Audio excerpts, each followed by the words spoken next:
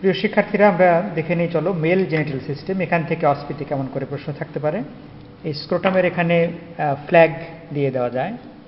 Flag marked স্ট্রাকচারটা সেটার নামটা কি? লেয়ারগুলো কি কি? বা কোন ধরনের মাসল থাকে সেখানে? সেটাও একটা প্রশ্ন হতে পারে। এরপরে এই যে, এই পেছনের দিকে যে কাট এন্ড এখানে দেখো যে উপরের দিকে দুইটা কর্পোরা ক্যাভার্নোসা নিচের দিকে কর্পাস স্পঞ্জিওসাম সেটা আছে।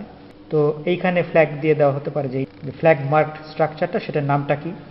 কোন ইউরেথ্রা এখান দিয়ে পাস করে? এই পেনিসটা এটা বেঁধে দেওয়া যেতে পারে। এটা বেঁধে দিয়ে যে এটার স্ট্রাকচারটা কি? দুই ধরনের টিস্যু নিয়ে তৈরি। কর্পোরা ক্যাভার্নোসা কর্পাস স্পঞ্জিওসাম কোন ইউরেথ্রা এখান দিয়ে পাস করে?